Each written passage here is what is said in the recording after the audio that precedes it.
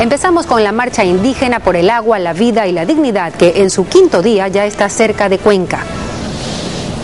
Hola Marisabel, amigos, ¿cómo están? La manifestación hoy atraviesa la tercera provincia de su recorrido previsto en dirección a la capital de la República.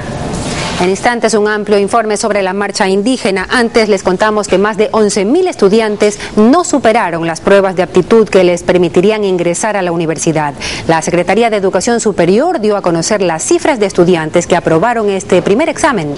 Las autoridades universitarias dicen estar listas para continuar con el proceso. Decenas de estudiantes llegaron desde muy temprano a la Universidad de Guayaquil en busca de información. Ellos aprobaron los exámenes de aptitud y escogieron dar la prueba de exoneración que les permitirá ingresar directamente a la universidad.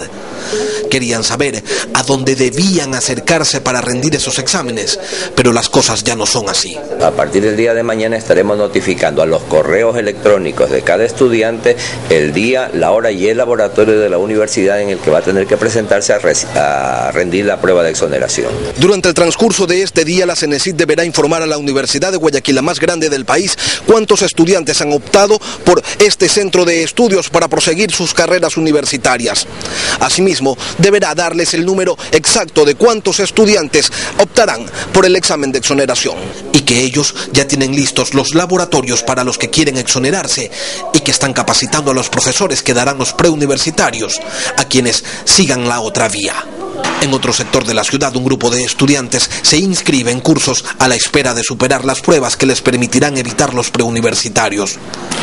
Esto es lo que decide mi futuro, es algo muy importante, entonces eh, es algo que necesito prepararme. Está desperdiciándose a seis meses, que es mucho tiempo.